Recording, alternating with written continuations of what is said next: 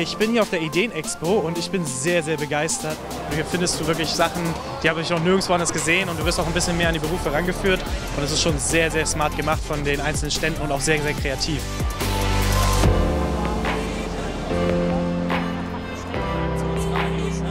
Mein Traum war es immer, YouTuber zu werden oder sowas, was ich jetzt mache, zu werden. Ähm, jetzt ist es soweit und es ist toll und es ist schön, aber am Ende sollte man sich immer was Festes suchen, immer eine Lehre machen oder ein Studium oder irgendwas, worauf man Bock hat. Und ich finde zum Beispiel die Ideen-Expo zeigt das ja super, was halt zu dir passen könnte.